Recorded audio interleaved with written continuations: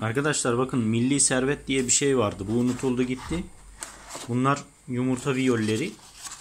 Ben de aynı zamanda bunları üreten bunların makinasını üreten bir fabrikada çalışıyorum.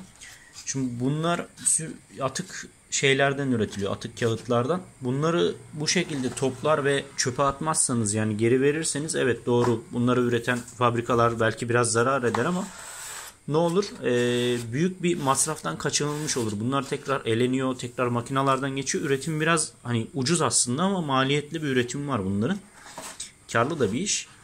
Bunları bu şekilde e, paketleyip pazarda yumurta satanlar var. O kişilere verdiğiniz zaman hem bazen size indirim yapıyorlar. E, bir iki yumurta fazladan veriyorlar.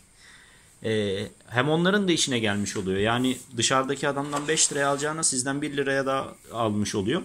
Daha ucuz almış oluyor ve e, bundan hem kendi kar ediyor hem bunu size de yansıtıyor. Hem küçük işletmeleri desteklemiş olursunuz bu şekilde hem de milli servet denilen bir olay var. Milli servete destek olmuş olursunuz. Yani e, bunun için sonuçta evet atık kağıttan yapılıyor ama atık kağıt için tekrar bir ağaç kesimi yapılıyor. E, o da ma- çok maliyetli işler.